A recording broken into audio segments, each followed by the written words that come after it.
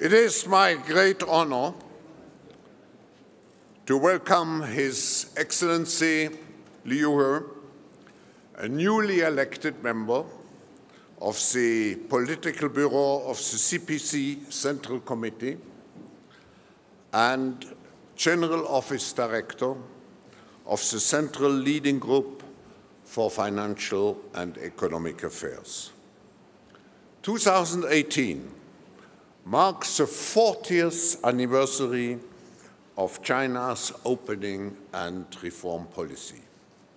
Your Excellency, with your presence here, we also celebrate a kind of jubilee because it marks the 40th consecutive year that I have the pleasure of welcoming China's leadership to the annual meeting here in Davos.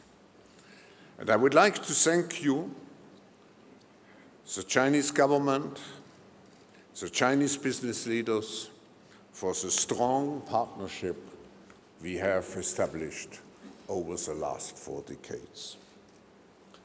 As you all know, Liu He has been a key economic advisor to President Xi Jinping and has played an instrumental role in drafting some of the most fundamental economic policies in China. We are very privileged to have this unique opportunity to hear from you about China's future development and reform priorities, as well as your perspective on the global economy. Our forum community certainly will recall the historic speech of President Xi Jinping last January, which many participants felt was a turning point in China's relationship with the world. During the year, at other important global meetings like the Belt and Road Forum, the G20, and APEC, President Xi continued to further develop many points which he raised in his Davos speech, culminating in his remarks to the 19th Party Congress in which he outlined his great vision for China's new eras. China impressed us again with its robust growth rates of 6.9% um, in 2017. However, the challenges ahead for China's economy can also not be underestimated, as it simultaneously shifts the current mix of industrial sectors, at the same time investing into the development of new technologies to become a leader in new technologies and the creation of future industries in order to leapfrog ahead. China's future is intrinsically linked to the fate of the global economy, marked ever increasingly by, unfortunately, protectionism and looming, the looming threat of trade wars. Therefore, I'm particularly delighted, grateful to have you here, Mr. Liu He, after the presentation of President Xi Jinping last year, to hear your perspectives, what has changed, if anything has changed, and what is the future. I invite you to take the floor.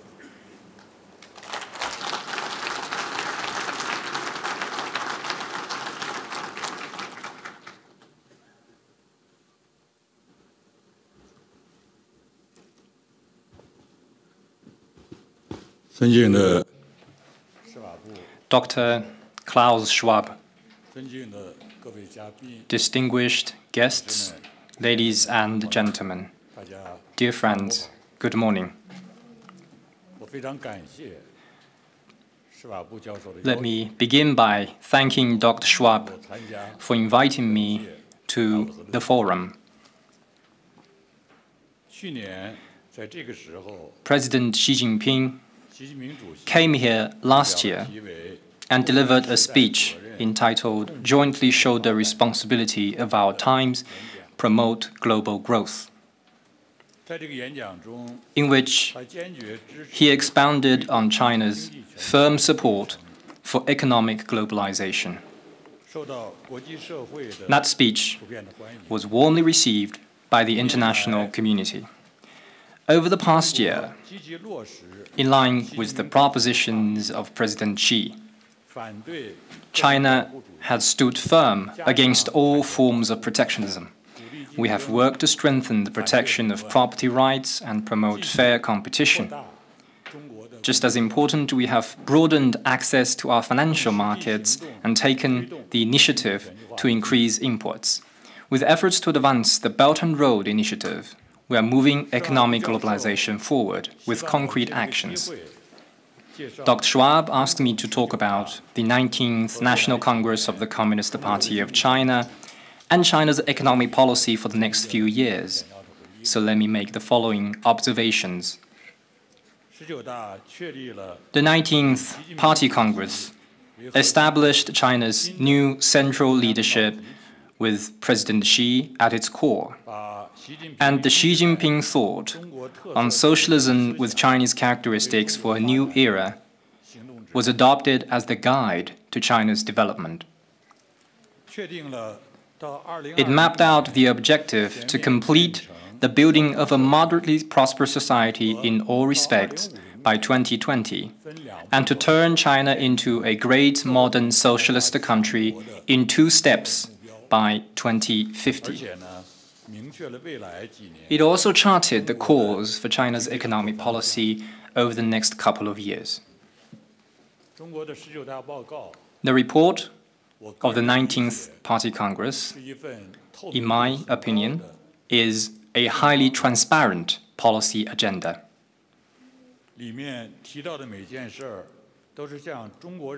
It lays out the promises that will be delivered to the Chinese people. The fulfillment of this agenda will also bring about new opportunities for the development of other countries in the world. So, ladies and gentlemen, I recommend this report to those of you who are keen to learn more about China's future policies. This top level planning of China's economic policy for the next few years is designed in light of the above mentioned objectives. In a nutshell, this policy centers around a key necessity, a main task, and three critical battles. Let me explain one by one.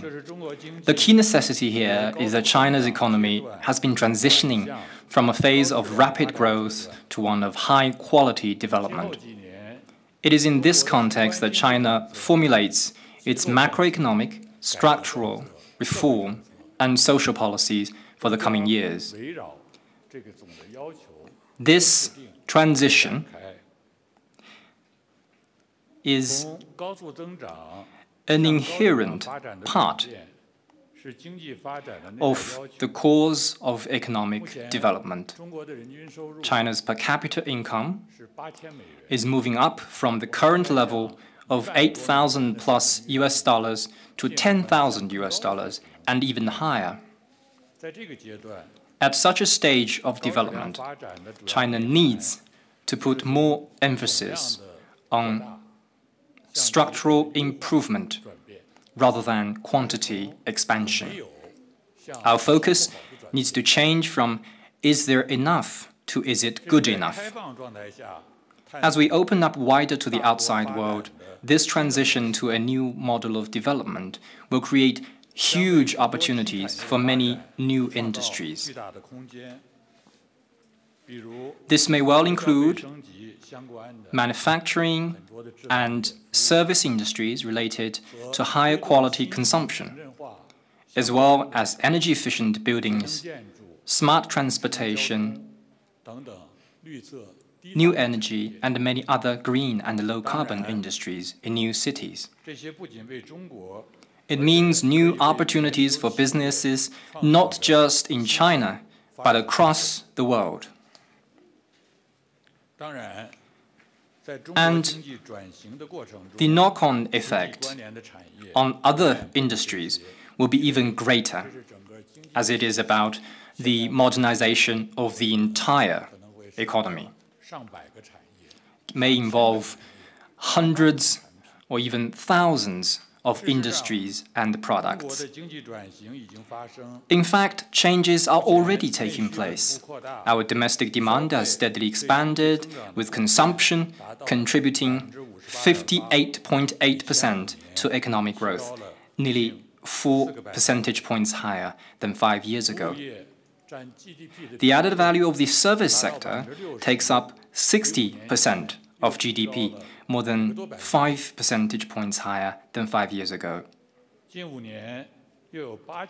And with more rural migrant workers settling down in cities, permanent urban residents have increased by another 80 million plus in the past five years, accounting for 58.52% of the total population, nearly six percentage points higher than five years ago. Meanwhile, China's energy intensity, a measure of energy consumption per unit of GDP, has fallen by 23.9%. The main task is to advance supply side structural reform.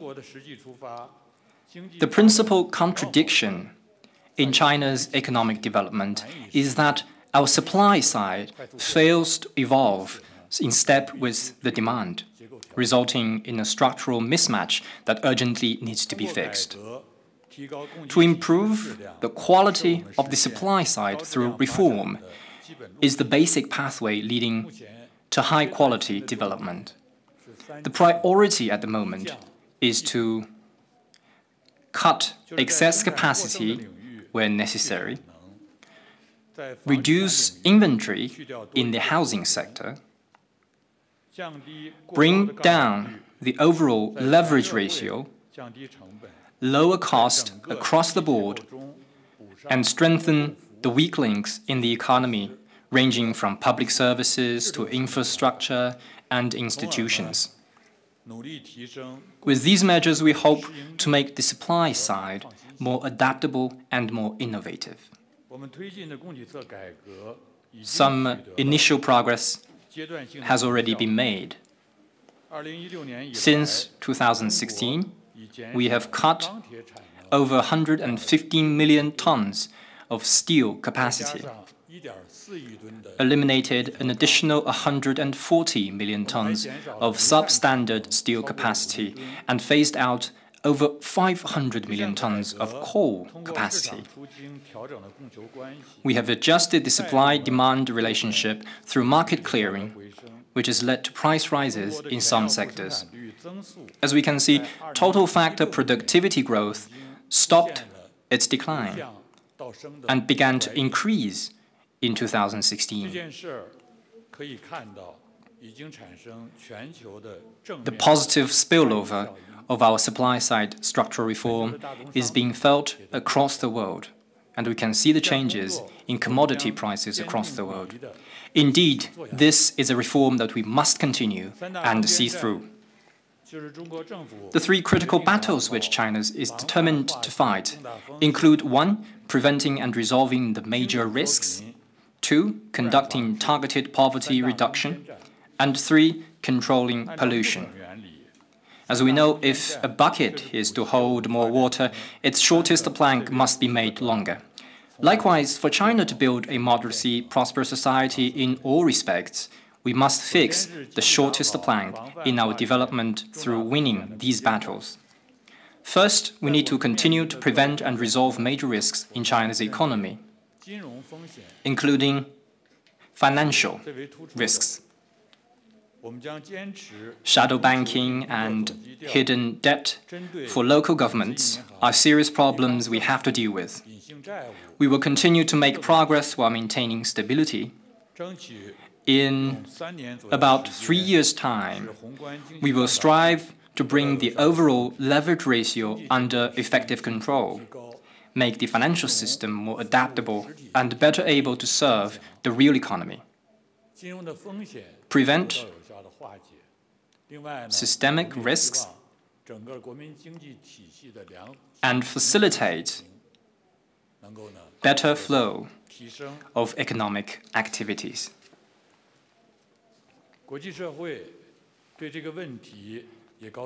The international community is closely following this task, and we have full confidence and a clear plan to get the job done. Our strategy is to fix the problems on the way forward through reform and development. And our tactic is to pick up the most important issues and find solutions. We have many favorable conditions on our side. The Chinese economy is steadily turning for the better, with enduring, robust fundamentals. Huge potential remains to be tapped in urbanization, innovation, and the transformation of traditional industries. These mean many, many opportunities. Our financial system is basically sound, with a high savings rate. We have already set out to properly handle a series of risks. Since the fourth quarter of last year, China has had a marginally slower overall leverage ratio growth, which is a good sign. In addition, strengthened risk awareness and changing market expectations on implicit guarantee, or moral hazard have created important psychological conditions for us to prevent and control financial risks. I would like to highlight that the build-up of China's financial risks and our response to them are closely related to the changing global market. That's why we welcome the participation and the cooperation of the international community in China's endeavor to address financial risks, as it is part and parcel of global efforts to uphold world economic stability. Second, China will continue with smarter, more targeted efforts to lift more people out of poverty in the last five years, under President Xi's leadership, we started an unprecedented campaign against poverty. As a result, the number of rural residents living in poverty dropped from nearly 100 million to around 30 million. That's a very big number of reduction. We have set a target to basically eliminate absolute poverty in three years, which means no single rural resident will be living below the current poverty line. This year alone, China will lift 10 million people from absolute poverty, including 2.8 million who will be relocated from areas suffering from harsh conditions. These poverty alleviation efforts have a major impact on the distribution of national income. Such efforts embody the Chinese approach to human rights and will contribute to the global cause of poverty reduction. Third, China will continue its fight against pollution. Green and low-carbon development is what the Chinese people and people across the world want the most in a break with the traditional growth model.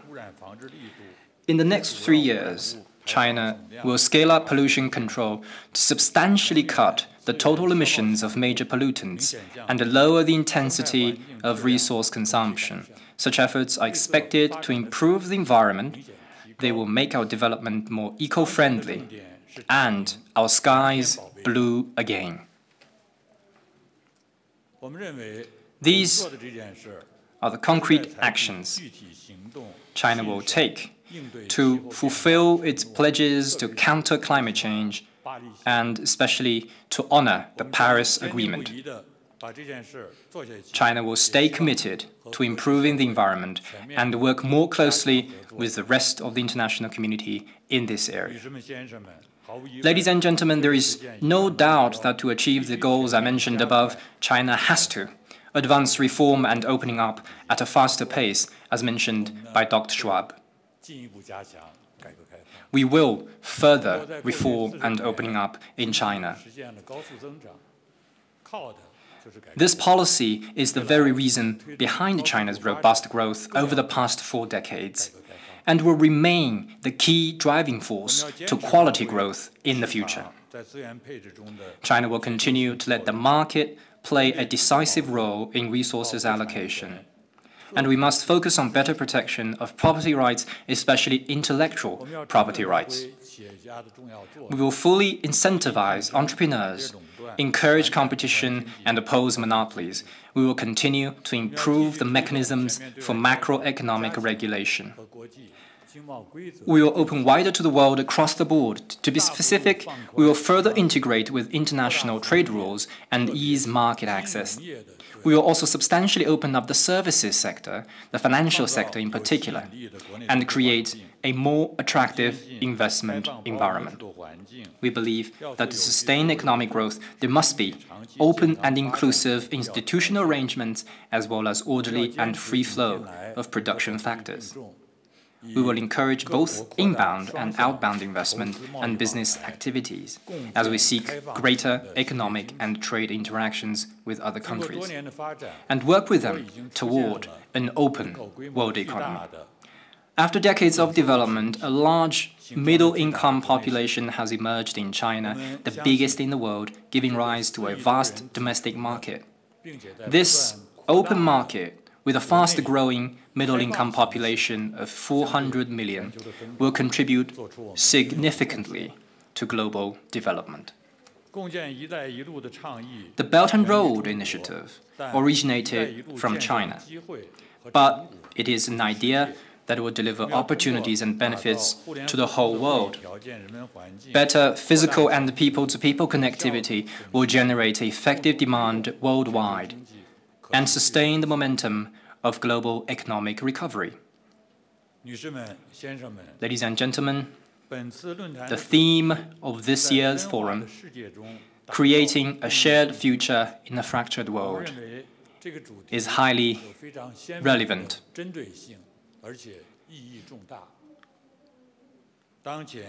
The world economy is now picking up. Major economies are growing in sync for the first time since the global financial crisis. International trade and investment have bottomed out. A new cyclical upswing can be expected for the global economy. That said, at such a critical moment, we must focus on the spillovers of the monetary policy of the world's major economies and the changes in the debt, equity, and the commodity markets in the short term.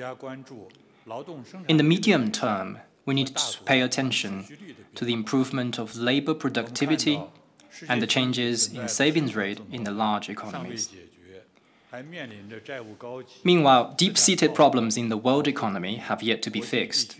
Multiple risks and considerable uncertainties come in the form of high debts, asset bubbles, protectionism, and the escalation of regional and international hotspots. To meet these challenges, to keep the growth momentum, and to turn the cyclical recovery into sustainable growth, we need concerted global efforts. In the long course of human progress, one thing is clear History often repeats itself in different ways or keeps revisiting similar crossroads.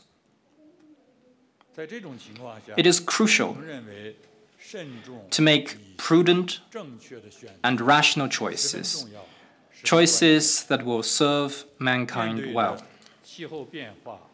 When it comes to such global challenges as climate change, disruptive technologies, and terrorism, no country can cope with them alone. We need to have an open mind and take a strategic perspective.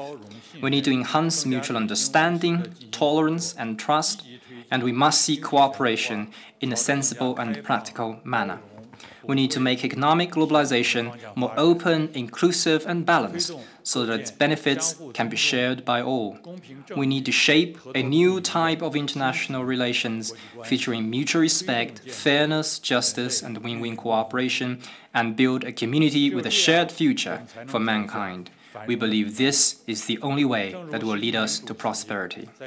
As President Xi observed at last year's forum, as long as we keep to the goal of building a community with a shared future for mankind and work hand in hand to fulfill our responsibilities and overcome difficulties, we will be able to create a better world and deliver better lives for our peoples. I want to stress that China is a force for world peace, development, and the international order. China remains a developing country despite its economic progress. We will run our own business well, and on that basis, we are ready to work with the rest of the international community to champion a vision for global governance that features extensive consultation, joint contribution, and shared benefits. Together, we will stand firm for multilateralism, for the multilateral trading regime, and for common development and progress. Thank you for listening. Thank you all. Thank you, Dr. Schwab. Thank you.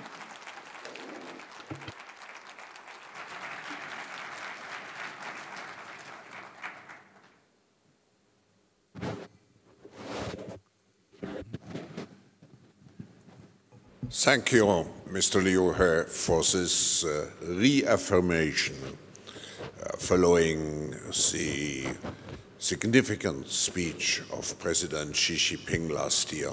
This reaffirmation of commitment to a global open system, to a responsible role of uh, China um, in a world which um, is based on multilateralism, uh, which is based on further up, uh, of, uh, further opening up your country. So we are very grateful that you came here to um, reconfirm and to further develop the ideas which were presented uh, last year. Um, I have one question to conclude our session. Um, you, Mr. Liu, you, you presented, Your Excellency, you presented uh, the policies um, for opening up, um, further opening up. What concrete measures will you undertake in 2018 in this respect? Thank you very much for your question. So may I speak, answer your question in Chinese because uh, there are also some.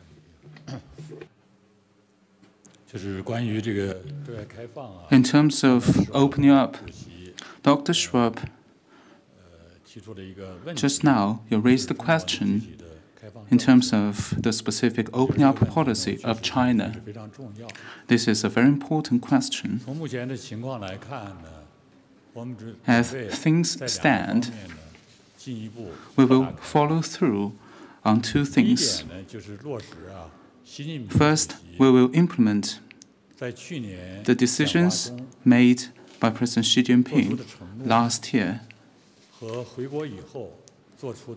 We will also deliver on the opening up decisions made by President Xi when he went back to China.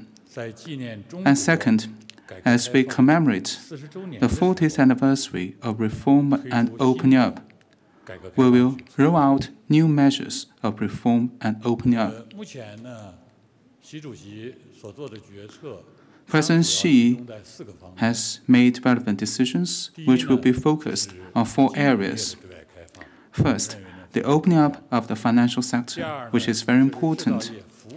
Second, the opening up of manufacturing sector and some services.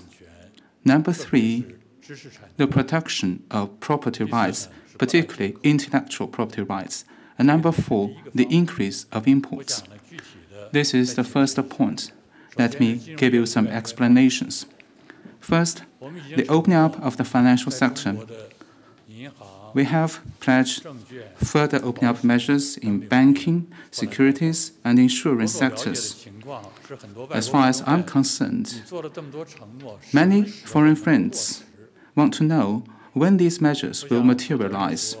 Let me respond in a responsible manner. We will implement these measures one by one within this year. The earlier, the better. Second, the opening up of the manufacturing sector and some services. Based on the things we know at the moment, we will further strengthen opening up in terms of the manufacturing of ship, railway equipment, aircraft, as well as in some services sector. And our basic measure is to remove or further reduce restrictions on, on foreign investment. We will adopt pre-establishment national treatment plus a negative list approach. Third, we will strengthen IPR protection, which is very important. In recent years, we have attached great importance to this issue and we have made great efforts. And our focus going forward is to further implement relevant measures. We are ready to work with the international community to advance these efforts. For Chinese companies, we have strong desire for this, and the international community are also paying great attention to our efforts in this field.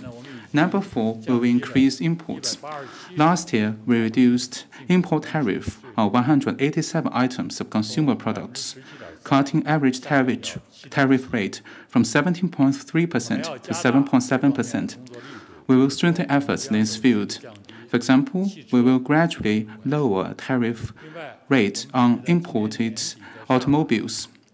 And in addition, we will host the first China International Import Expo in Shanghai. Over 120 countries have expressed their readiness to participate in it. I want to take this opportunity to increase imports so as to ensure balance of current account and create more opportunities for other countries. This is the first aspect. The second aspect is that as we commemorate the 40th anniversary of reform and opening up, we will roll out more reform measures. China began its reform and opening up in 1978, and this year marks its 40th anniversary. We are aware that reform and opening up have created China's economic development miracle. We need to celebrate the reform and open up policy. A best way to commemorate the occasion is to roll out more reform measures. The central government is undertaking careful studies of the new measures. Uh, here, let me tell you in a responsible manner, and some measures will exceed the expectations of the international community. Last but not least, let me stress this. Opening up is not only important for China, but also for the whole world. Let's work together to advance economic globalization. Thank you very much for your question, Dr. Schwab.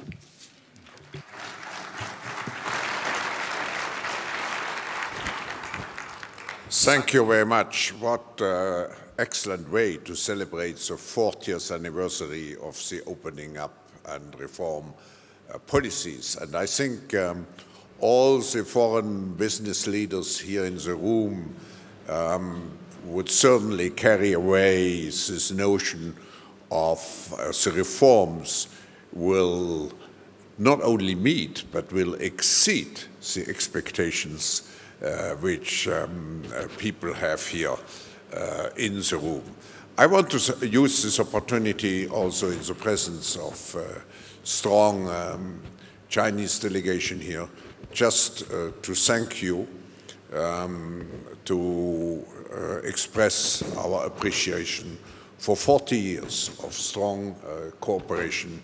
We are proud in the forum to have been a small partner in this process over so many years. And I would like to thank you, um, uh, Your Excellency Liu uh, for making the effort to join us uh, here in, in, uh, in Davos. And um, you have seen we have a lot of snow here. Maybe when you have the Olympic Games, we can export some of the snow uh, to your country.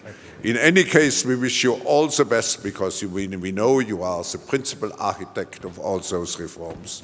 So you, we wish you all the best for the execution of those policies. Thank you again for joining us.